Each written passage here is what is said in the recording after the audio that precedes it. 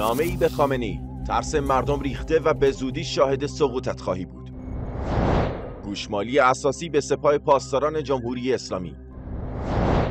تصمیم خامنه ای به تغییر ساختار حاکمیت. تحلیلی از مشتبا واحدی. سفرهای توریستی مدهان نورچشمی سفر به دور دنیا به خرج خزانه. درود بر شما که فرزندان آریایی و نگهبانان میراث جاودانه این خاک باستانی هستید. پرچمداران آزادی و سربلندی میهن. به ایران دیلی خوش آمدید.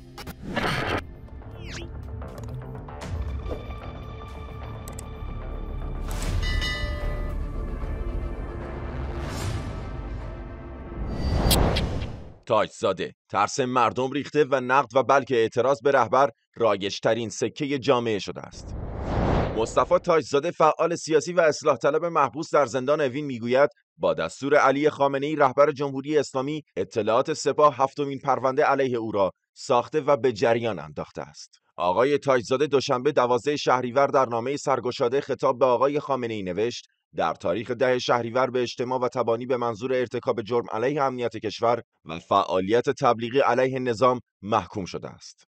این زندانی سیاسی با تاکید بر اینکه مانند گذشته و در اعتراض به بیعدالتی حاکم بر دستگاه قضا در دادگاه حاضر نخواهد شد نوشت یکی از دو سه قاضی مشهور و بدنام می‌تواند مرا به دو اتهام بالا به شش سال زندان جدید محکوم کند که پنج سال آن قابلیت اجرایی شدن خواهد داشت. او با بیان اینکه علی خامنه ای تلاش می کند با احکام طولانی مدت منتقدان را ساکت کند نوشت با وجود این همه بگیر و ببند ترس مردم ریخته و نقض و بلکه اعتراض به رهبر رایجترین سکه جامعه شده است.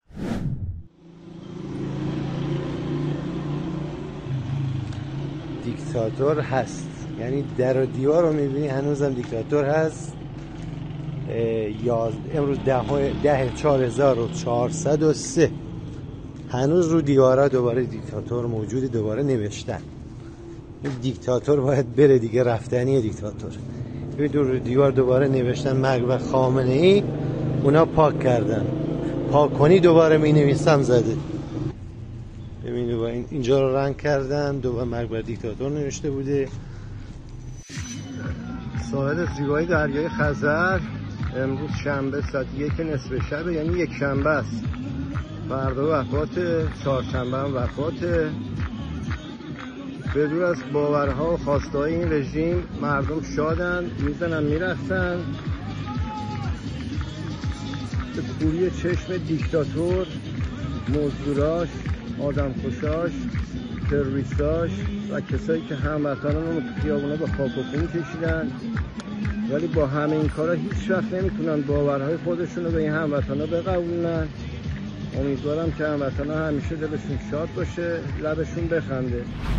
وکیل این زندانی سیاسی روز دوشنبه 24 شهریور به خبرگزاری ایلنا گفت موکلش به علت اتهامات سابقی که برای آن حکم حبس گرفته در حال گذراندن دوران محکومیتش است. اما حالا برای او اتهام جدیدی در نظر گرفته شده که از نوع و دلیل این اتهام بیخبریم این وکیل دادگستری همچنین درباره آخرین وضعیت آقای تاجزاده در زندان گفت او با تلفن شرایط را توضیح می‌دهد و با وجود آنکه از تیر ماه 1401 تا به امروز در بازداشت است حتی یک روز هم از مرخصی استفاده نکرده است. مصطفی تاجزاده فعال سیاسی اصلاح طلب از سال 1388 بارها بازداشت و به احکام سنگین محکوم شده است. او آخرین بار در مهر ماه 1401 بابت اتهامات تبانی علیه امنیت ملی، نشر اکاذیب و تبلیغ علیه نظام به پنج سال حبس قابل اجرا محکوم شد و اکنون در زندان است.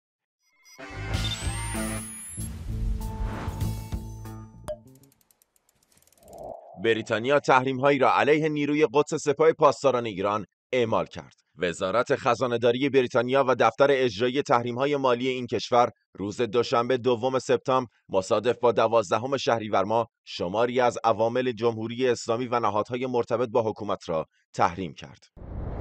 طبق اعلام مراجع رسمی بریتانیا این تحریم ها افراد و گروه های ناقض حقوق بشر در ایران و فعالیت های خصمانه جمهوری اسلامی و گروه های شبه نظامی وابسته به آن را هدف قرار می دهد.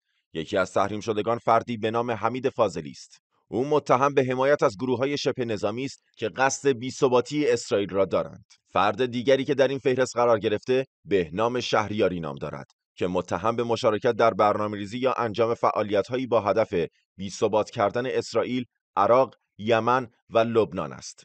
عبدالفتاح اهوازیان نیز به اتهام دست داشتن در تهدید برنامه ریزی یا انجام فعالیت هایی که با هدف ایجاد بیثباتی در انگلستان یا هر کشور دیگری انجام می شود در این فهرست قرار گرفته است. گفته شده که او از اعضای یگان 700 نیروی قدس سپاه پاسداران انقلاب اسلامی است. این افراد و نهادهای اضافه شده به این فهرست اکنون در معرض مسدود شدن دارایی‌هایشان در بریتانیا هستند و دسترسی آنها به منابع مالیشان در این کشور نیز مسدود می شود.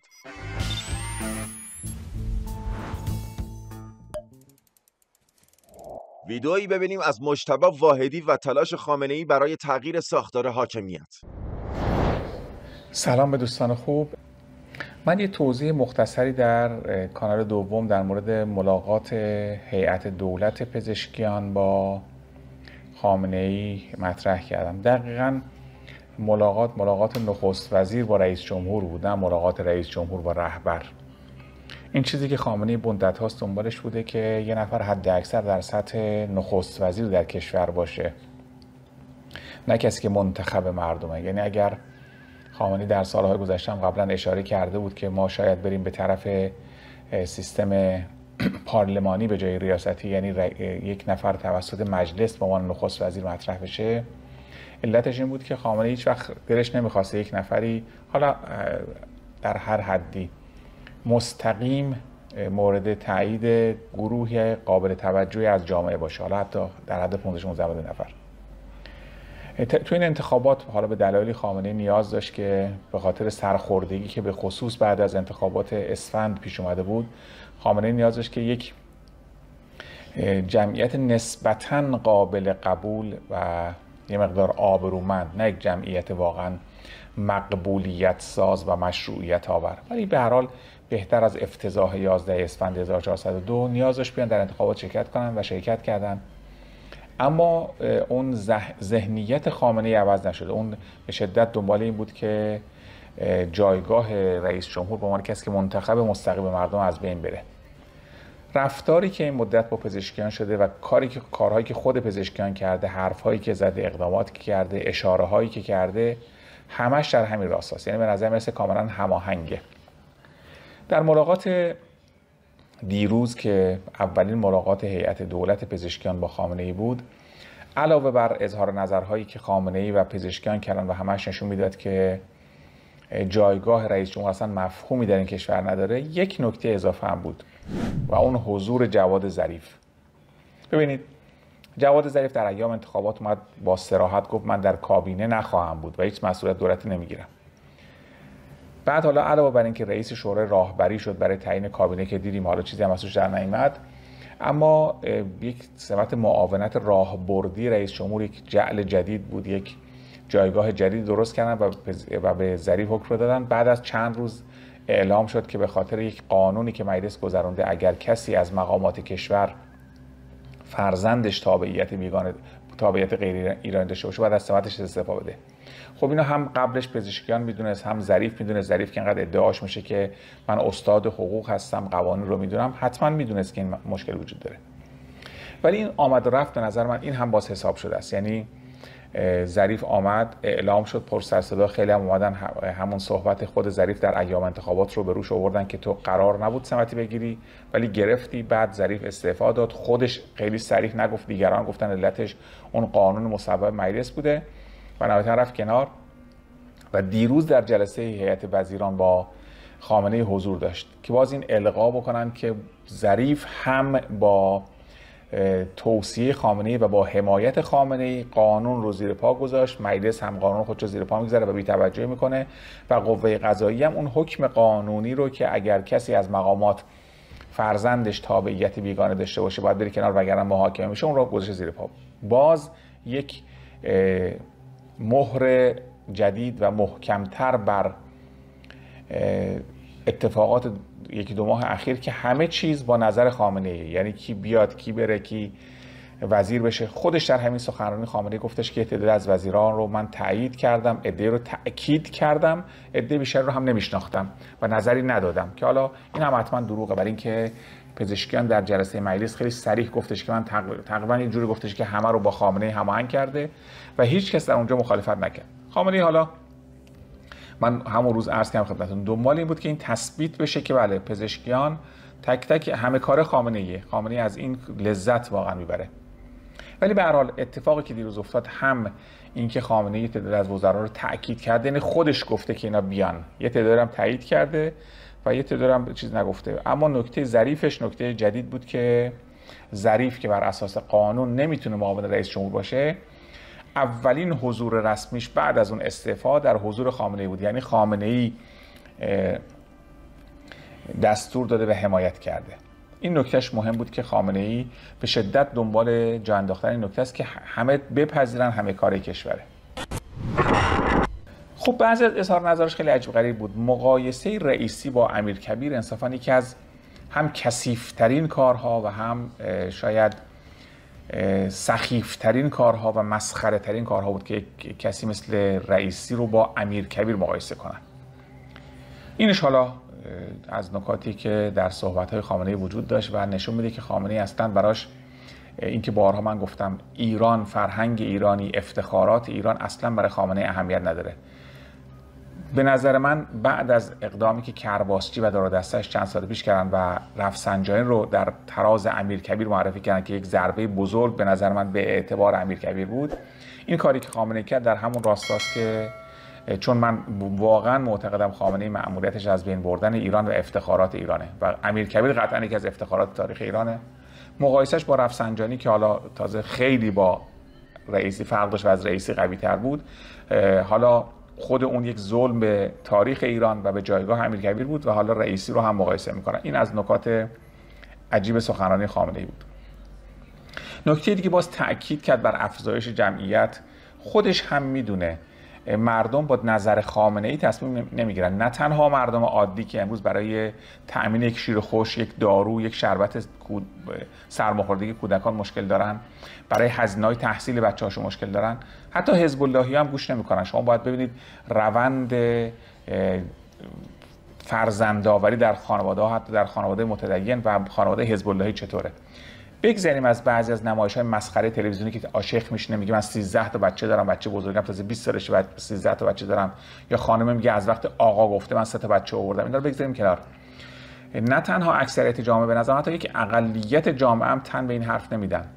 ولی خامنه میگه چون لذت می‌بره که یه حرفی بزنه که دیگران قبول ندارن. واقعا جز من اینکه بارها عرض کردم خدمتتون بیمار روحی و روانی خامنه ای اینجاست. و مطمئنم تاثیرم نداره. ولی خب حالا حتما اونجا دکتر زفرقندی خیلی هم شده که خامنه اسمش آورد. به خود زفرقندی که مثلا نگاه اصلاح طلبانه داره مأموریت داد که باید بحث افزایش جمعیت رو پیگیری کنه. نکته دیگه که خامنه ای گفت که خیلی عجیب بود که ایران رو امروز به اقتدار نظامی می‌شناسن. من واقعا نمی‌دونم. این حرف باز برای بازی کردن با اعصاب و روان مردم و عصبانی کردن مردم یا از سر نادانی یا هر دوشه.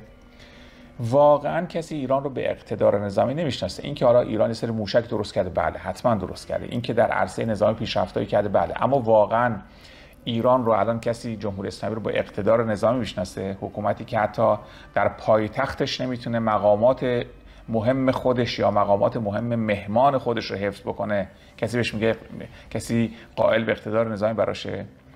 حکومتی که زورش به طالبان نمی‌رسه زورش به قطر نمی‌رسه به عربستان و کویت و ترکیه و دیگران نمی‌رسه. نمی‌دونم این اقتدار نظامی چه و چرا بعضی از مردم عادی هم متاسفانه بازی این حرفها رو می‌خورن و تن میدن به بسیاری از مشکلات و ضعفا به همین بهانه و به همین دلخوشی احمقانه که ما پیشرفت نظامی کردیم. من بارها خدمت شما از کنم پیشرفت نظامی هیچ در هیچ کشوری در دنیا جز کشورهای احمقا که با حماقت اداره میشن مثل کره شمالی پیشرفت نظامی هدف نیست. پیشرفت نظامی که وسیله است برای اقتدار کشور و اقتدار کشور وسیله است برای امنیت مردم رفاه مردم پیشرفت کشور. آیا واقعا شما نسبتی بین پیشرفت نظامی حتی مورد ادعای حکومت با شیوه حکمرانی با وضعیت اقتصادی مردم با وضعیت سیاسی کشور با میزان اعتبار کشور در دنیا می‌بینید. به هر حال دیگه اصرار داره خامنه که این حرفا رو بزنه و متاسفانه فضای کشور هم فضایی نیست. کسی بتونه در داخل کشور برخلاف ادعاهایی که می‌کنن اظهار نظر کنه. یعنی اگر فضای کشور باز بود الان خیلی میمدن فریاد می‌زنن که آقا حتی ابراهیم رئیسی حاضر نشده بیش از دو تا بچه داشته باشه تو این کشور. سعید جلیلی که مثلا حزب اللهی ترین یکی از حزب اللهی ترین اطرافیان خامنه یک بچه بیشتر نداره. و خیلی از خانواده های حالا مذهبی عام هیچی مذهبی های حزب اللهی هم تن نمیدن به این کار. چرا خامنه اصرار می‌کنه؟ اگر واقعا یه به هوای وعده هایی که حکومت میده به هوای حالا در باغ سبز هایی که حکومت نشون میده برن تعداد بچه ها رو اضافه کنن در حالی که نه مملکت امکان تأمین کافی برای تحصیل اینها برای شغل اینها داره و نه خانواده ها و سفره خانوار پاسخگوی حتی تعداد بچه های فعلیه. این چه اصراری هست جز اینکه طرف دشمنی با کشور داره می‌خواد فقر روز به روز گسترده تر شه. ظاهرا مزده کرده به خامنه که مردم هرچی فقیرتر باشن فرصت فکر کردن فرصت مطالبه سایر حقوقشون رو ندارن. تنها توجیهی که میشه برای اصرار خامنه بر این کار اوورد همینه. یا وقتی بحث اقتدار نظام رو مطرح می‌کنه نشون میده که قرار نیست دوستان عزیز این نکته مهمه.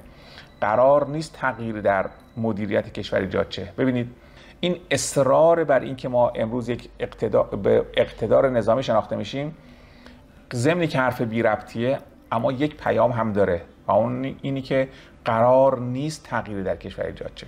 قرار همچنان به قیمت فقیر نگه داشتن مردم در عرصه های ظاهرا حکومت و مملکت پیشرفت کنه که هیچ خاصیتی برای مردم نداره و فقط شهوات سیاسی و بلند پروازی های احمقانه خامنه ای رو ارضا می‌کنه. قرار نیست ریل گذاری تغییر کنه. قرار نیست تغییر قابل توجهی در وضعیت کشور به وجود بیاد اصلا قرار نیست اقلانیت حاکم بشه بر کشور.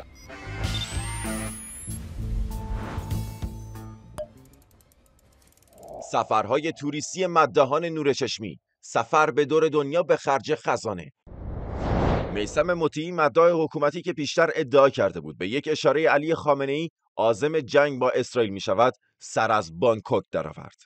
رسانه های حکومتی با اعلام سفر این مداح حکومتی به بانکوک پایتخت تایلند اعلام کردند که او به منظور حضور در مراسم عزاداری پایان ماه صفر و به دعوت شیعیان تایلند به این کشور سفر کرده است. میسم مطیعی از مدهان نزدیک به علی خامنه‌ای است و در مراسم مذهبی که دفتر رهبر جمهوری اسلامی برگزار می کند حضور دارد.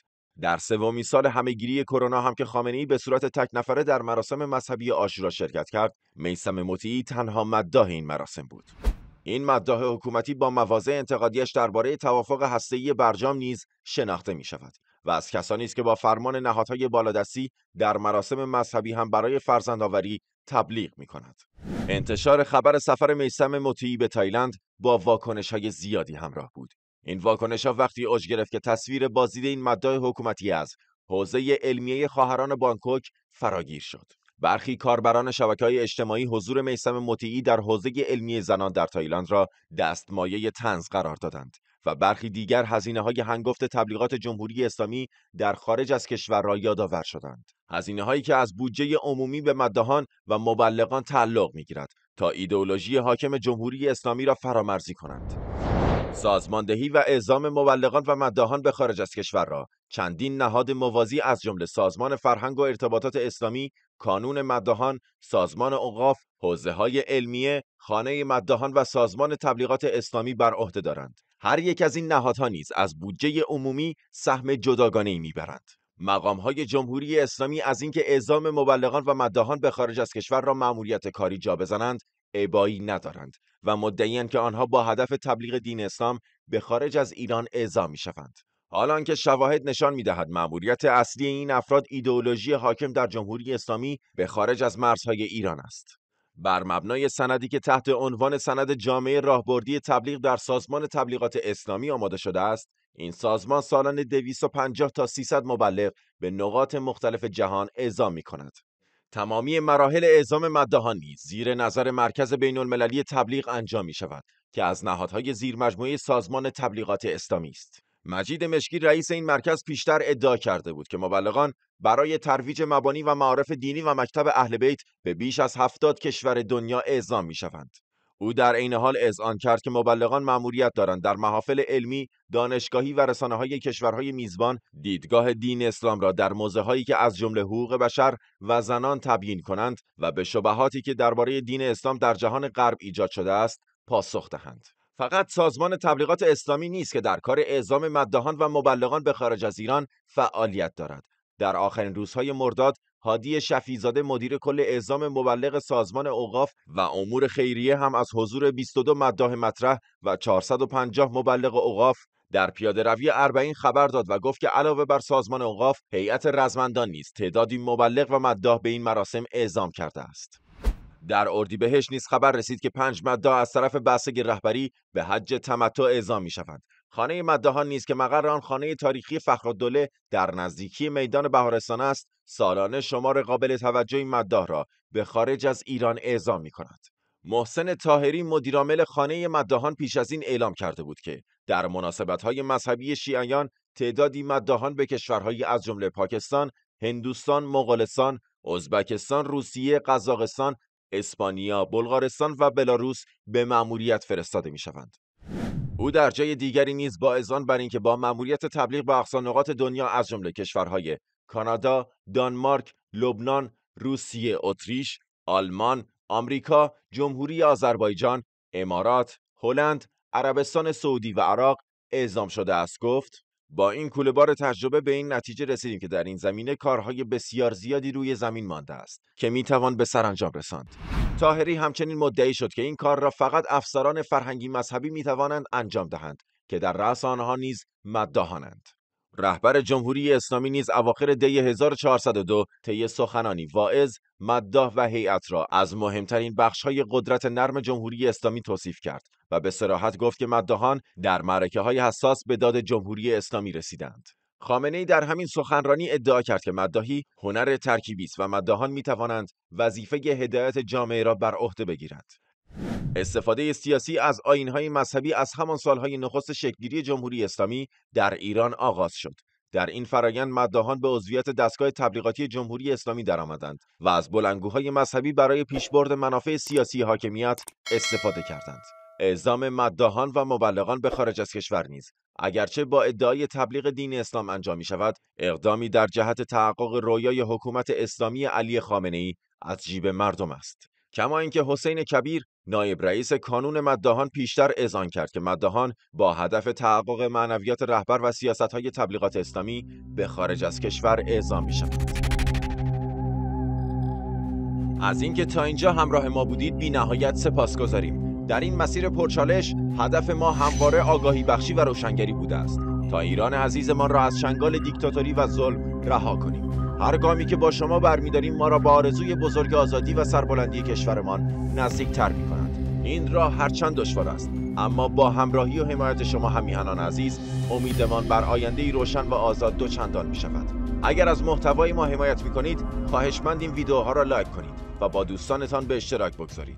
هر لایک و اشتراک گذاری شما صدایی است. در حمایت از آزادی و عدالت و نوری در مسیر تاریکی که به سوی روشنایی می‌رود نظرات و پیشنهادات شما برای ما بسیار ارزشمند است. لطفا دیدگاه هایتان را با ما در میان بگذارید. تا بتوانیم با هم برنامه هایی بهتر و موثرتر برای روشنگری و آزادی میهنمان ارائه دهیم. تا برنامه بعدی برایتان روزهایی سرشار از امید استقامت و موفقیت آرزو می‌کنیم. با هم می‌توانیم آینده ای آزادتر و سربلندتر برای ایران عزیزمان رقم بزنیم.